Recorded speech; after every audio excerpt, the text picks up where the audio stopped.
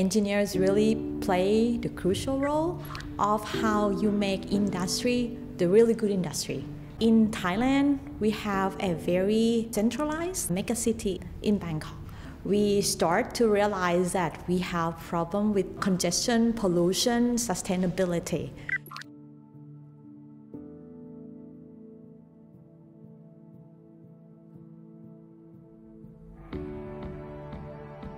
You need to really think how you want to invest more with the transport sector.